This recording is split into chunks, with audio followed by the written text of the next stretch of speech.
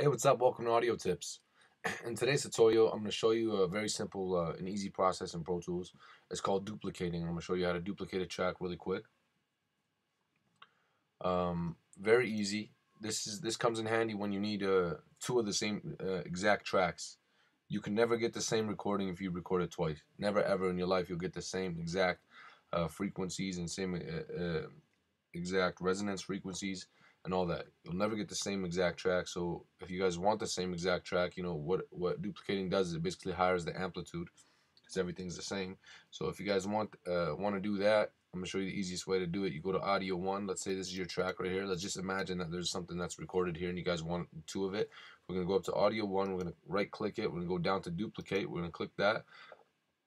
It's gonna ask you how number of duplicates that you want. It's gonna ask you uh, the the data to duplicate, we want to click all of it. We're going to click OK, then it'll, it'll make you the exact same track.